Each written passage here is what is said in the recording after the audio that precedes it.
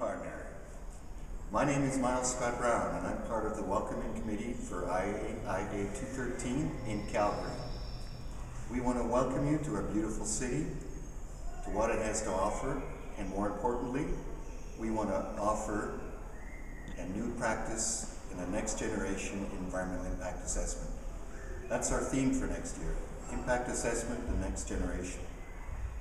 What we're seeing around the world is that impact assessment is under fire. A lot of regulators want to change it.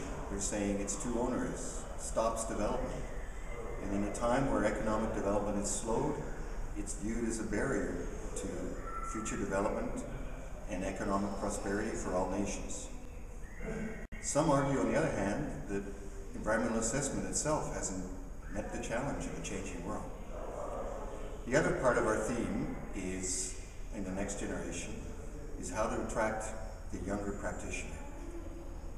We see IAIA as a tremendous wealth of opportunity for new practitioners in the impact assessment field, for those wanting to learn from others, especially those that have been here for all of the conferences since IAIA first began.